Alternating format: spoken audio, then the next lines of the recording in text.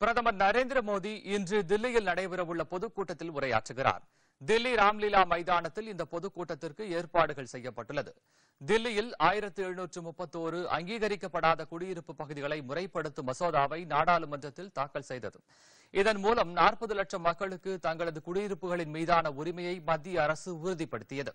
அந்த பயனாளிகளுக்கு இத்திட்டத்திற்கான உரிமையை வழங்கும் ஆவணங்களை இந்த பொதுக்கூட்டத்தில் பிரதமர் வழங்கவுள்ளார் குடியுரிமை திருத்த சட்டத்தை எதிர்த்து பழைய தில்லியில் தாரியாகஞ்ச் உள்ளிட்ட பகுதிகளில் போராட்டம் நடைபெற்றதால் இன்று பிரதமர் உரையாற்றும் கூட்டத்திற்கு பலத்த பாதுகாப்பு ஏற்பாடுகள் செய்யப்பட்டுள்ளன. ராம்லீலா மைதானத்தை நோக்கி செல்லும் சாலைகள் முழுவதும் காவல்துறையினரால் கண்காணிக்கப்பட்டு வருகிறது. முக்கியமான இடங்களில் கண்காணிப்பு கேமராக்கள் பொருத்தப்பட்டு காவல்துறையினர் கண்காணித்து வருகின்றனர். அங்கீகரிக்கப்படாத குடியிருப்புகளை முறைப்படுத்தி மத்திய அரசு அறிவித்ததற்கு நன்றி தெரிவிக்கும் விதமாக இந்த கூட்டத்திற்கு பிஜேபி ஏற்பாடு செய்துள்ளதாக தில்லி மாநில பிஜேபி மூத்த தலைவரான விஜய் கோயல் கூறினார்.